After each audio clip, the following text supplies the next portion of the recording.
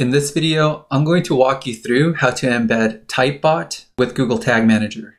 If you're not familiar with Typebot, I highly recommend it. The two main reasons why I love Typebot is because of the simple and intuitive user interface. It makes building a chatbot a delight.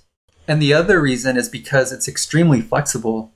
You can apply so many use cases that a simple form just can't compete with. And the cherry on top is that this tool gets better and better over time. So next, let me walk you through how to embed Typebot with Google Tag Manager. Once you create your Typebot, head over to Share, and then from here under Embed Your Typebot, go to Google Tag Manager.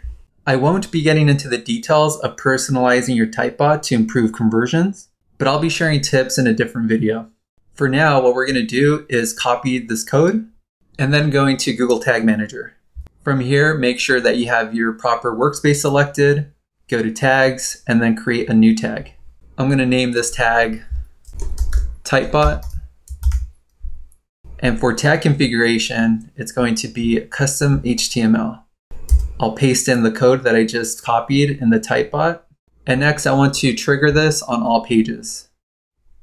I'll click on save. And the next thing I'll do is preview the changes. Click on continue.